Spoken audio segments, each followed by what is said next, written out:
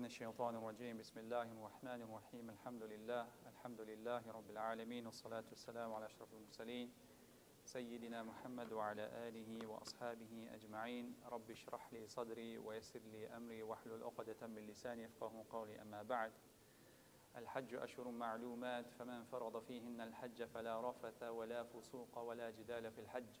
وما تفعلوا من خير يعلمه الله وتزودوا فإن خير الزاد التقوى واتقون يا أولي الألباب These are the days of Hajj and Allah subhanahu wa ta'ala says for the pilgrims who are traveling to Mecca, the holy city, that they need to take their provisions with them and the best provision that they can take is taqwa, is piety. And it's uh, amazing that the Hajj season comes after Ramadan, the month of taqwa where we had an opportunity to increase our piety, our righteousness, and our fear of Allah subhanahu wa ta'ala. So the provision for the Hujjaj uh, of taqwa is appropriate that uh, it happens after Ramadan, so close to Ramadan. But of course, there are many things that people need to take with them uh, on Hajj, and normally when I uh, give advice to brothers or sisters who are going for Hajj, I normally give them about four or five uh, advices. I keep it very short and very simple. In addition to the taqwa that they need to take, they also need to pack a separate suitcase of sabr, of patience. They need to pack a separate suitcase of patience, of sabr, because they're going to need it there. It doesn't matter how much money they take with them, but if they forget that bag at home, khalas, their, their, their trip is going to be miserable. The second advice I normally give is um, expect the worst and you will be pleasantly surprised. So if you go for Hajj not expecting anything, I'm talking about uh, facilities and so forth. Of course, we expect to get closer to Allah subhanahu wa ta'ala, and that's the third advice is to stay focused on why you're going for Hajj. But I'll just go back to the second advice, which is expect the worst and you will be pleasantly surprised. So you get to Mecca, you expect to sleep on the floor. You come to your room, you find a bed. What do you say? Alhamdulillah. Right? You expect to walk from Mecca to Mina. You get out of your hotel, you find what? A bus waiting for you. You say, Alhamdulillah. You get into the bus, you don't expect the bus to be air conditioned. But what happens to the bus? The bus is air conditioned. What do you say? Alhamdulillah. So your whole trip, are you going to be disappointed? You didn't expect anything, right? So nothing can disappoint you because you didn't expect anything. But those people, unfortunately, who go expecting a lot, guess what happens to them? They get disappointed. And they start whinging. You know from where they start whinging? From Sydney Airport already. they haven't even left yet. They're already whinging. And I feel the brothers who take care of the Hajj trips and the Hajj packages, like Sheikh Shadi and the brothers with him, I feel them really sorry. Because this, this is the toughest job in the world, is to manage a group of pilgrims. It's the toughest job in the world. I wouldn't want it. I wouldn't take on this responsibility because you need so much patience. Sheikh Shadi needs to take three bags, four bags of patience with him to deal with all the issues. So that was the second advice, right? The third advice is to stay focused on why you're going. Why do people go for Hajj? Why do people go for pilgrimage? It is to fulfill an obligation as part of our contract with Allah subhanahu wa ta'ala. It's one of the five pillars in our contract with Allah Azza wa Jal. So if you, if you are taking the, you are paying the money, you're making the effort, you're making all the plans to go, you may as well make sure that you fulfill that part as best as you can. But you'll be amazed when people come there, they lose their focus as to why they're there. A lot of people get caught up in what? Shopping. And they get caught up in the shopping already before they leave, making lists of things that they need to get, making sure they don't leave this one out, don't leave that one out. And they get so caught up in spending all their time in the souks when they should be spending their time in the masjid, the haram, where the rewards are 100,000 and so forth. And the masjid of the Prophet i'm not saying don't, don't buy gifts, okay? Because the Prophet ﷺ said, tahaddu tahabbu. The giving of gifts increases the love. So that, that can occur on the trip. Buying of the gifts can occur in the trip. And what I normally suggest is if you're going to Medina first, where should you do your shopping? Do your shopping in Medina. Do your shopping in Medina. Get it over and done with. So that when you leave Medina to go to Mecca, now you're 100% focused on what? On the five days or six days of Hajj. That's it. Nothing is going to distract you now. Another distraction is people go as tourists. They've got the camera packed and the video camera packed, and they want to take photos here and get their photos taken there. And again, they're losing sight of why they went. It can just become a, a source of attraction, uh, distraction. So we need to stay focused on why we're going. The fourth advice that I normally tell people is please, please, whatever you do, learn the Hajj. Learn the fiqh of the Hajj. It's like making salah. You can't tell a brother, brother, come make salah, and you just bring him to the masjid and you, that's it, khalas, you just leave him. There you go, make salah now. He just came in for the first time. Now he needs to make salah. How is he going to pray? He doesn't know how to pray. He doesn't even have wudu. So the same thing with Hajj, you need to know the Hajj to be able to do the Hajj. That's why in, in South Africa, where I grew up, they used to run classes for months teaching the fiqh of Hajj before you went for Hajj. So when people went for Hajj, they knew and they understood what it is they were doing. Now people expect Sheikh Shadi. No worries, the Sheikh is with us. The Sheikh will take care of everything for us. So people go there, they, get, they, get, they come to Mecca, they go into the Haram, they see the Kaaba for the first time, they don't know what to do. Now they're shocked, they're stunned. What, what do I do now? I'm here now. What do I do? Where does the tawaf start? I have no clue. I see people going around and around and around. Where do I start? Where's the start? Is there a starting point or do I just join in? How many times do I go around? I heard people say seven. Is there some, some of the seven that I need to go faster, that I need to run, that I need to walk? What about, do I start my sa'i at Marwa or Safa? Where is Safa? I know of one person who went on Hajj and thought that to do the sa'i between Safa and Marwa meant that you go from Safa to Marwa and back. That counted as one. You, how, you know how many times you went back and forth? 14 times instead of seven. Because from Safa to Marwa is counted as one. Not Safa, Marwa, Safa. As one. So he, end, he started on the right place, but he ended in Marwa. You, uh, he ended back in Safa. You're supposed to end up in Marwa. And this is someone who's supposed to know. And he was, subhanAllah. But it's amazing. People go there and they don't know what they're doing and they expect to be taught. Sheikh Shadi will have his lessons probably after Salatul Isha every night, right? He will have his lessons in the hotel, probably on the roof of the hotel, like Sheikh, uh, Sheikh Yahya did when we were there, or Sheikh Taj. and then he will try to teach the people there. It's too late to learn there. Now you're going to cram everything into those few nights to learn about the Hajj. You need to study the Hajj before you go. It's not difficult to learn. I'm not saying it's, it's, it's difficult. It's easy to learn the fiqh of the Hajj, but people need to learn it. And also important to that is not only learning the fiqh of Hajj, is also to learn the history of the Hajj. To learn actually what happened. Why, why am I doing this? Why are we doing tawaf around the Kaaba? When did it all start? And that's my topic tonight. My topic is about Ibrahim alayhi salatu wasalam. Because the Hajj started with Ibrahim alayhi salatu wasalam. He is the one who called the people when nobody could hear, right? Uh, but Allah told him, invite. He said, but I can't see people. Allah said, don't worry. Just do the invitation. Allah subhanahu wa ta'ala will send the people. So the people started coming for pilgrimage at the time of Ibrahim alayhi salatu wasalam. But was the Kaaba built then? Was the Kaaba built by Ibrahim alayhi salatu wasalam and Ismail? That's what most of the people say, right?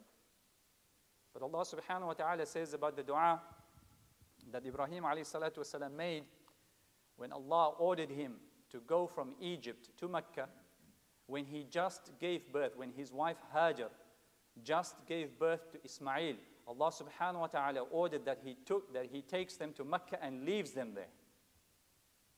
And as he's leaving, he makes a dua to Allah subhanahu wa ta'ala and he says, Rabbana inni askantu min dhurriyyati biwadin ghayri li zar'in inda baytika al-muharram.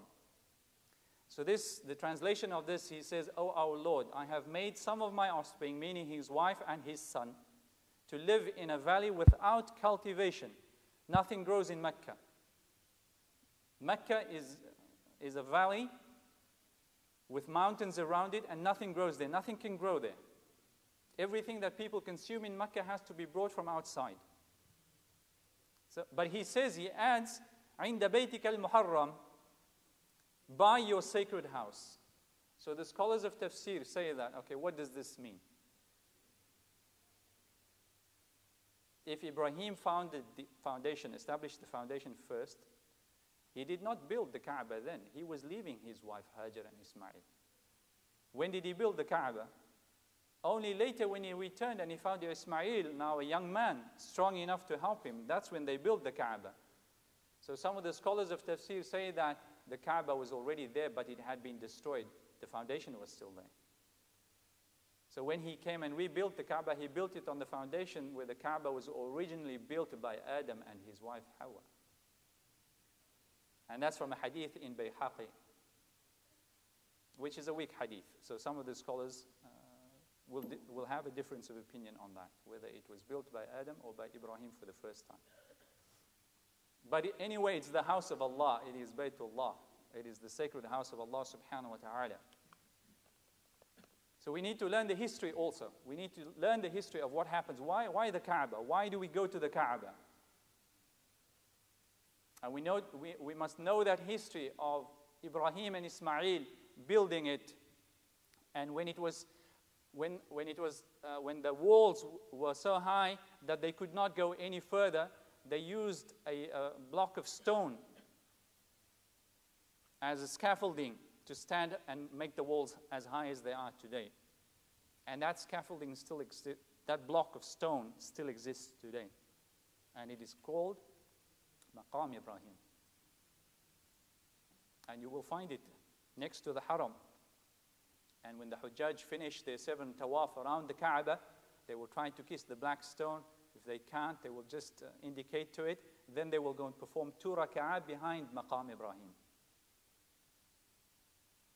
And why do, they, why do they uncover their shoulders? Why, for the men, do they uncover their right shoulders when they are doing tawaf?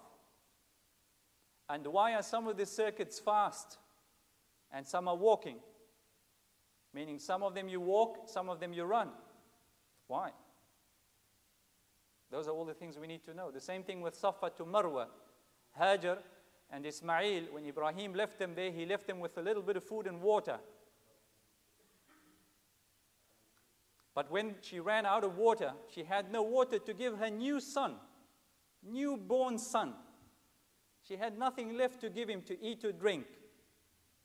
She was panicking and desperate, so she went up this hill called Safa to see if she could see anybody.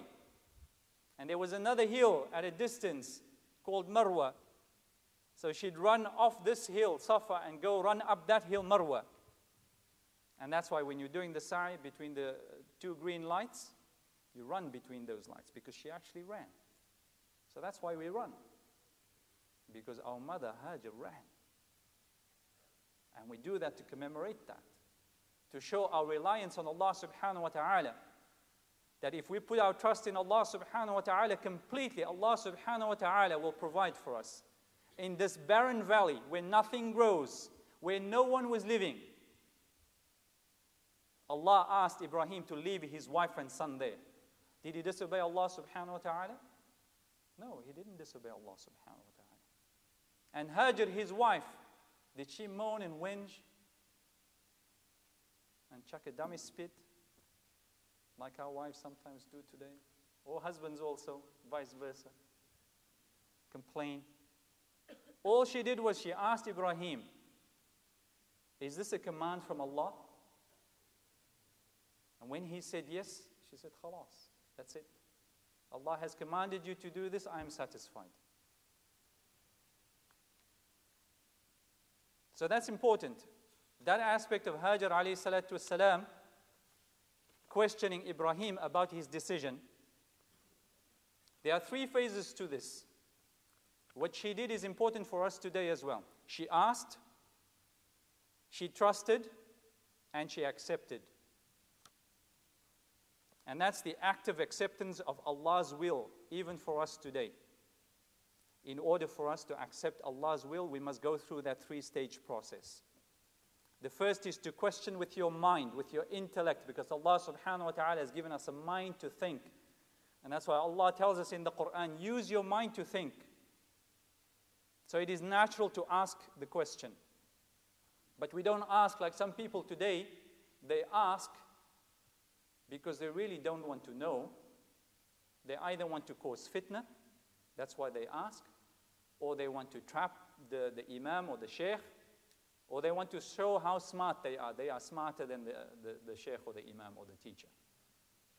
That's not the reason for asking. That's not the purpose behind asking. When you ask, you want to know the truth. You want to understand. So that's why she asked Ibrahim alayhi salatu wasalam.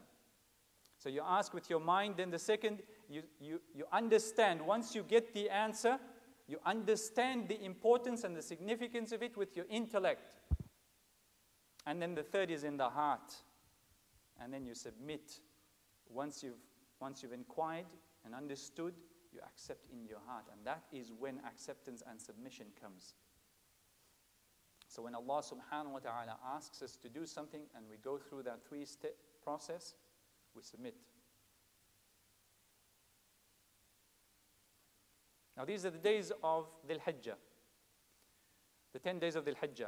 The Prophet sallallahu alaihi wasallam, as you know, said in the hadith, there are no days that are dearer to Allah subhanahu wa ta'ala in respect of the ibadah that we do than the first days of Dhul Hijjah. And in the Quran, Allah subhanahu wa ta'ala says, وَالْفَجْرِ وَلَيَالٍ عَشْرٍ Allah subhanahu wa ta'ala swears an oath by the dawn, by the Fajr, and the 10 days, the 10 nights. And the scholars are divided onto which 10 nights they are. Some of the scholars will say these are the 10 nights of Dhul Hijjah, the first 10, 10 days of Dhul Hijjah, and others will say they are the last 10 days of Ramadan. But anyway, the hadith of the Prophet ﷺ is very clear. These are the most loved days to Allah subhanahu wa ta'ala, so we should increase our ibadah in, in them. Unfortunately, it's really sad to see how little significance people give to these 10 days. And especially the Arafah and the Eid. You will find because the Eid this year is on a Friday, you will find the numbers attending the Eid Salah drop dramatically compared to the Eid of Fitr, which we had on a Sunday, right? Was it on a Sunday or Saturday? It was a Sunday, right? Look at the numbers this year. Look at the numbers on Friday. For those of you, I'm not going to go into the moon dispute, okay? For those of you who are, who are doing international, uh, who follow international sighting of the moon, you will be having Eid on Friday. For those of you who follow local sighting, Australian sighting only, you will be having your Eid on Saturday. Doesn't matter, okay? But have a look at the numbers, especially the numbers on Friday. Because what are people going to give priority on Friday? Are they going to give priority to this Eid, this celebration, or to priority, uh, priority to their work or to their other commitments? And it's really sad to see how people choose. Islam only has three celebrations. Only three celebrations. The Eid of Fitr, the Eid of uh, uh, uh, Eid al-Adha, and which other Eid? The Jum'ah. The Jum'ah is an Eid. Every Friday we celebrate. What do we celebrate on Fridays? We celebrate the fact that Allah subhanahu wa ta'ala says, no matter what you're doing, no matter where you are, when Allah calls you, you come. You leave off your trade because the remembrance of Allah, dhikrullah, the remembrance of Allah subhanahu wa ta'ala at that time is more important than anything else. You could be a surgeon, you could be a um, uh, pilot, you could be an astronaut, it doesn't matter, a physicist, um, a carpenter, a builder. But at that time, Allah's remembrance takes preference over everything else on this dunya. That's why it's an Eid, because we are celebrating what? We are celebrating our ta'ah, our obedience, our submission to Allah subhanahu wa ta'ala. So the Jum'ah is a celebration. That's why the Prophet ﷺ said, anybody who misses, any man who misses three Fridays in a row without a valid excuse. So Ibrahim salatu wasalam, I'm jumping a bit here and there, right? But it's still about Ibrahim. And I, I won't keep you too long, inshallah, because I know the sisters have more important things to be talking about, as Brother Rami mentioned. I'm only kidding, Rami. Khair, inshallah. Where did Ibrahim start? Let, let's go back to Ibrahim alayhi salatu wasalam. When did he live? When was his era? His era was more than 4,000 years ago. And we call him our forefather. we also call him the pioneer of Haraka Islamiyah. Ibrahim is the pioneer of the Har- of Haraka Islamiyah, the Islamic movement. The Islamic movement that we know today, Ibrahim is our pioneer. Because he is the one, he is the first messenger of Allah subhanahu wa ta'ala, the first messenger who actually moved to invite people to Islam and spread Islam. All the other prophets and messengers before him just stayed in their localities. They were prophets and messengers, and they gave their message to their people, but they stayed local. Ibrahim was the first one. He moved from Babylon, then he went to Egypt. He lived in Egypt for a while. Then from Egypt, he came and took Hajar and Ismail to Mecca, and he visited them a few times. Then he went to Palestine and so forth. So we call him the pioneer of Haraka Islamiyah, the Islamic movement. So the Islamic movement that we are living today, we are following in the footsteps of our forefather Ibrahim alayhi salatu wasalam. Ibrahim grew up in a, in a home where his dad was an idol maker. He used to make the statues and the idols that people used to worship at their time. So they were worshiping idols. That was their religion, they were idol worshippers. And Ibrahim, as he was a young man, he used to look at his dad uh, carving these, these idols and shaping them, and he used to wonder, why is my dad's making toys? Right? He was a kid. My dad's making toys. That's what he thought. He first thought my dad's making toys for kids to play with. But then he saw, as he grew a little bit older, he saw grown men and women bowing, prostrating to these toys. He said, what, What's going on? These people are supposed to be playing with toys, not bowing to them, and, and really got him thinking. And then one day, uh, he, started questioning, and, and people were making offerings and bringing food and everything, and asking things of these idols. Basically, they were worshiping them. And they had their temple with all these idols there, and people used to go and visit it. So Ibrahim started questioning himself, and, and this didn't make sense to him. Why, why are people worship, worshiping these stones, worshiping these pieces of wood that were made, made by the hands of a man? It, it, didn't make sense to him. So he looked at the stars, he looked at the moon, he looked at the sun, asking, Is, is this the creator of everything? And because the stars, the stars set, the moon sets, the sun sets, the answer was no, it cannot be because the creator is always there. The creator has to always be there. So these things cannot be the creator, they are the created. And finally, he came to the realization that it has to be, there has to be a creator of all of these things. And then Allah subhanahu wa ta'ala spoke to him and informed him, yes, that, that, is, that is the truth. And then he went to his dad and he said, My father. The verses in the Quran about how Ibrahim speaks to his father is very important in terms of manners and akhlaq, of how we need to speak to our parents. Remember, his dad was a mushrik, but he still spoke to his father with the highest respect and the most beautiful of language, speaking to his own dad. And this is important for our young brothers today. Allah subhanahu wa ta'ala, mashallah, guides you, returns you to the deen of Allah subhanahu wa ta'ala. Then you need to, you need to also acquire the manners that go with that. You know, you need to have the manners that go with that. It's not enough just to have a beard and wear the thobe and so forth. You need, it's more important that you have the manners. So Ibrahim went and he asked his dad, Oh, my father, why are you worshipping these things? They, they can't do anything for you. So he was trying to talk some sense into his dad, saying that these things are, you made them. How can you worship something you made? His dad got angry with him and threatened him, and Ibrahim said, Okay, I, I tried, nothing I can do with my dad. He went to the community, started talking to people about worshipping idols. People would not listen to him. They were insistent. There was no way he was going to convince them. So he, one day he was sitting and thinking, there needs to be something that I can do to get through to these people. I need to try something different. And that's also the skills of da'wah. So there are many lessons we learn from Ibrahim alayhi salatu in, in the, the skills of doing da'wah. We need to vary our methodology. If you try one method and you don't get through, try different ways of getting through to people. Don't, don't just use the same formula, the same method over and over and over, and you're not, you're not getting anywhere. Try different methods. So Ibrahim, he realized that a, um, a celebration, an event was coming up where the people would leave their town to go to a river and have their festival along the river. So he used this opportunity when they were all away. So everybody left the city. He went into the temple, he took an axe, and he smashed all the idols except one. Except the biggest idol. And he left the axe around the, the neck of the, the biggest idol. So when the people came back from their festival, they went to their temple, they saw all their idols broken. They were furious and angry. And they knew there can only be one person responsible for this. It has to be Ibrahim, because he was the one already questioning them about their worship of idols. So they called him, they arrested him, and brought him. And they asked him, You did this, didn't you? He said, Why don't you ask the, the one with the axe? Ask him, he's got the axe. So they said, But you know they can't do anything. So he answered them, Then why do you worship these things?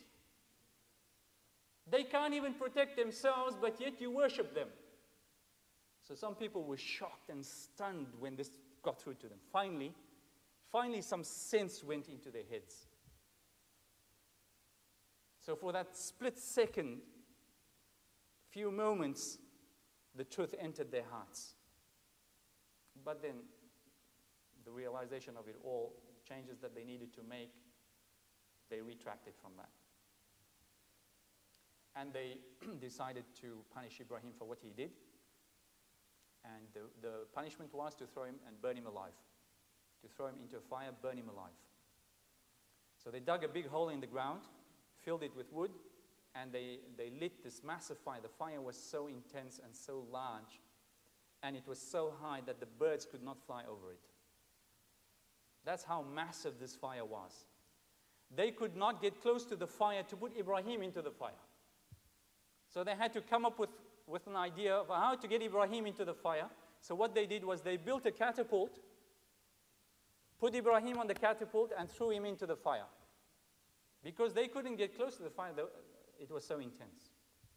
So they did that. They put him on the catapult, they changed, changed his arms, changed his, his hand, put him on the catapult. While he was on the catapult, Jibril alayhi salatu wasalam came to him and asked Ibrahim, Ibrahim, is there anything you need me to do? At this moment, right, he's about to be thrown into the fire. Jibril asks him, Is there anything you need me to do? What did Ibrahim say? He said, No, except the only thing that I wish for is that Allah is happy with me. That's the only thing that I care about is that Allah is happy with me. I'm, I'm willing to die for this now. But the only thing that really matters to me is that Allah is pleased with me. So they threw him into, Jibril left, offered him help. Ibrahim didn't. They threw him into the fire. Allah subhanahu wa ta'ala ordered the fire to be safe and cool for him. And the fire was cool for Ibrahim. He came walking out of the flames with all his clothes still intact. Not a sign of smoke or fire was on him. The only thing that burnt was the chains that were tying him. That was the only thing that was destroyed. And when the people saw that, they said, The Lord of Ibrahim protected him. And a lot of people that day submitted to Islam. And they became Muslim. So that's the story of Ibrahim alayhi salatu wasalam. Allah subhanahu wa ta'ala reminds the Prophet sallallahu alaihi wasallam about Ibrahim because Ibrahim alayhi salatu wasalam was, uh, is important for our connection with, uh, with him through the Prophet sallallahu alaihi wasallam because of the Tawheed. He came and re-established the Tawheed. The worship of only Allah subhanahu wa ta'ala, not associating any partners with him. But he also came to teach that we are connected with Allah subhanahu wa ta'ala and that everybody, everything needs to return to Allah subhanahu wa ta'ala. Inna lillahi wa inna ilayhi raji'un. We are from Allah and to Him we will return. And Allah subhanahu wa ta'ala reminds the Prophet sallallahu alayhi wa in the Quran about Ibrahim alayhi salatu wasalam when Allah says, وَجَاهِدُوا فِي اللَّهِ حَقَّ جِهَادِهِ هو اجتباكم وما جعل عليكم في الدين من حرج ملة أبيكم إبراهيم هو سماكم المسلمين من قبل وفي هذا ليكون الرسول شهيدا عليكم وتكونوا شهداء على الناس فأقيموا الصلاة وآتوا الزكاة واعتصموا بالله هو مولاكم فنعم المولى ونعم النصير So Allah subhanahu wa ta'ala is asking the Prophet sallallahu alayhi wa sallam, strive hard in his cause. وجاهدوا في وجاهدوا في الله and strive in his cause as you ought to strive. He, Allah, has chosen you and has imposed no difficulties on you in religion. And that's the other important thing that Allah subhanahu wa ta'ala mentions here. وَمَا جَعَلَ عَلَيْكُمْ فِي الدِّينِ مِنْ حَرَجٍ This deen that Allah subhanahu wa ta'ala has blessed us with is not meant to cause us difficulty. It's not meant to cause us hardship. In fact, it's the opposite. If we truly understand and we truly take it as it should be taken, it will become a source of happiness and joy and ease for us. But shaitan wants us to look at it as something difficult, difficult to do. And Allah subhanahu wa ta'ala continues, it is the millah of your father Ibrahim. Now, the difference between millah and deen it is he who has named you Muslims both before you and in this that the messenger may be a witness for you. And then Allah subhanahu wa ta'ala, the important, the important point that I want to get, to, get across tonight, inshallah, about the life of Ibrahim alayhi salatu wasalam, is that Allah subhanahu wa ta'ala tested him many times. The first test that Allah subhanahu wa ta'ala tested him with was he did not have any kids until he was very old and he kept making dua to Allah subhanahu wa ta'ala. Oh Allah, I'd like to have a son in order to continue your message. I'm on the truth, but we need to continue this. So see where is his concern. His worry is about continuing the da'wah.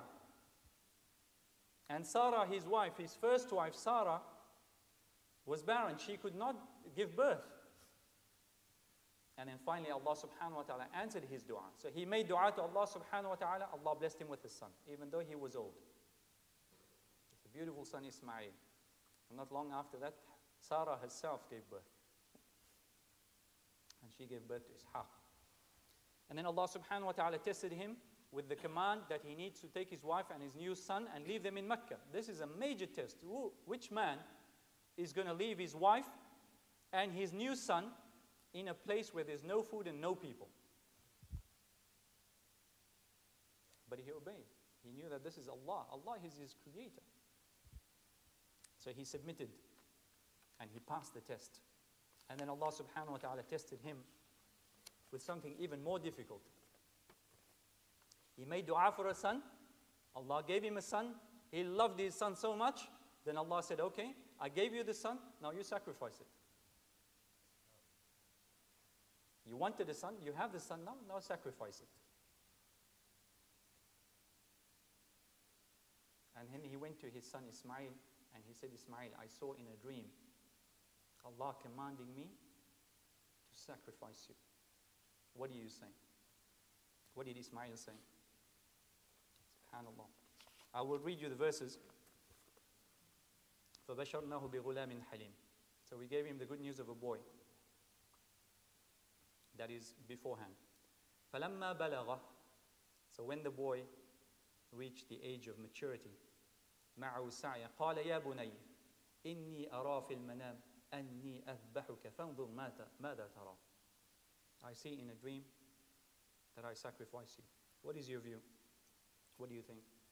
قال يا أبت افعل ما تؤمر Oh my father, do what you are commanded.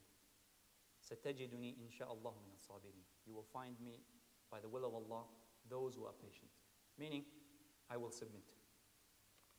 فلما أسلم وتله للجبين. So when they had both submitted, because the father and son had both passed the test, and he had laid him down, ready to sacrifice him, وَنَادَيْنَاهُ أَيَّا إِبْرَاهِيمُ We called out to him, O Ibrahim, قَدْ صَدَّقْتَ الرُّؤْيَا إِنَّا كَذَلِكَ نَجْزِي الْمُحْسِنِينَ You have fulfilled the vision. Indeed, do we reward those who do right. إِنَّ هَذَا لَهُوَ الْبَلَاءُ الْمُبِينُ For this was obviously a trial. وَفَدَيْنَاهُ بِذِبْحٍ عَظِيمٍ And we ransomed him with a momentous sacrifice.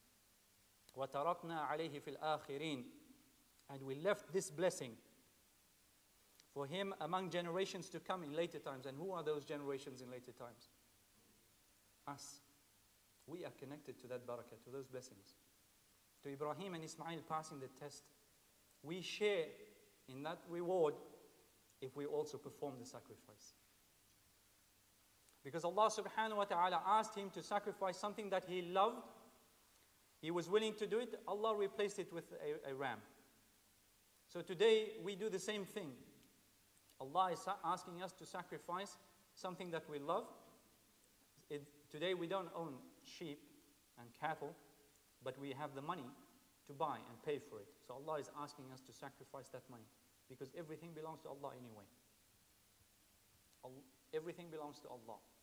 So that's why the Eid, Eid al-Duha, is the celebration of that willingness to give to Allah what belongs to Him. And we acknowledge that everything belongs to Him, so we are willing. Allah asks for something back, we are happy to give it back. Because it belongs to Allah subhanahu wa ta'ala. So life is a test. The life of Ibrahim alayhi salatu wasalam demonstrates many of these tests and how they were successful in passing them. We also have many tests in our lives. And Allah is going to test us. Obviously, Allah subhanahu wa ta'ala tested the prophets with the most severe tests. And we ask Allah subhanahu wa ta'ala not to test us with hard with hardship, with difficult things that we cannot bear. But Allah knows what we can manage, and Allah will not test us. Allah will not test you with something that you do not have the ability to pass. And we need to believe in that. We need to be sure that Allah will never test anybody unless he has the ability to pass it. لا يكلف الله نفسا إلا وسعها. Allah does not burden a soul with more than it can bear. He is our creator. So the thing that we need to convince ourselves about is that whatever Allah puts before us, he knows we can do it. So we need to be convinced about that and be steadfast and be like Ismail with, as, as, as, a, as a patient, sabirin, with those who are patient, steadfast, those who have to be firm, they remain steadfast, they don't waver, they don't give in. That's our lives today. Because then we will be hunafa like Ibrahim Hanif, the one who was a monotheist. And we need to be, and we, we will inshallah stay on the same path that Ibrahim established and the Prophet ﷺ came and perfected for us. Jazakallah khairan, thank you very much for your time. I remind you again, inshallah, that these are the 10 days of the Hajjah. Uh, on Wednesday, the Hajjaj will be going to Mina. Um, then from Mina, they will be going to Arafah on Thursday. So on Thursday is, is, is the big day. Th- Arafah is the Hajj for the Hajjaj, where they will spend all their time standing, sitting, begging Allah subhanahu wa ta'ala for His forgiveness. And if Allah subhanahu wa ta'ala accepts their dua, they will return from their Hajj like newborn babies, with all their past sins washed away. On the day of Arafah, for those of us who are not on Hajj, not on Arafah, the Prophet ﷺ said, if you fast on that day, you will have two years' sins forgiven, the year past and the year coming. So this is a credit of sins forgiven. Doesn't mean that you have this credit now. Okay? Doesn't mean you have a credit. You can let your hair down and just run wild. No. Allah knows even your thinking in doing the fast. Allah knows your intention even before you do the fast. So we need to purify our intention and In order to gain the reward, in order to gain the blessing, the intention should be, Oh Allah, please forgive our past sins and we will not repeat that sin again. That's how the dua, the dua is accepted. جزاك الله خيرا أقول قولي هذا وأستغفر الله لي ولكم فاستغفروه فيفوز المستغفرين وينجات التائبين To listen to or download more Islamic lectures, please visit www.islamicmedia.com.au.